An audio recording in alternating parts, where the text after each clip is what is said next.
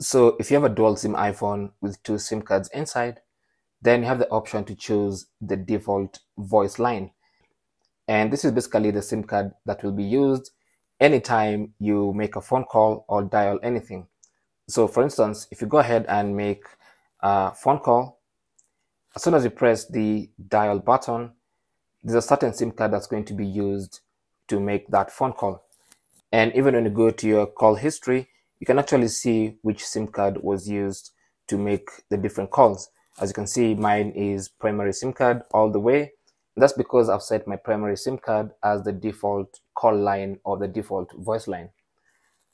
So you can check or change your default voice line by going to settings and then under settings, go to mobile data or cellular plan, tap on that and then go to default voice line select that and then you can choose between the two different SIM cards.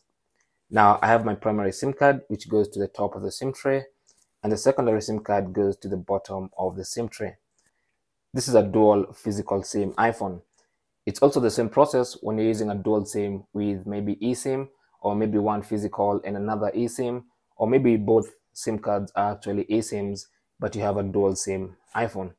So for instance, if I want my secondary SIM card to be the default voice line, all I need to do is check on it and then hit back and back.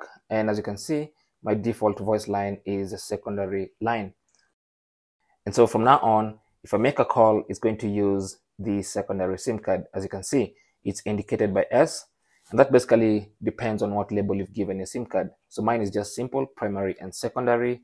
And that's how to switch between the two as the default voice line or the default calling line. But for receiving calls, you can actually receive calls from either of the lines as long as both of them are on and activated on your iPhone. Thanks for watching. Leave your comments and questions down below and good luck.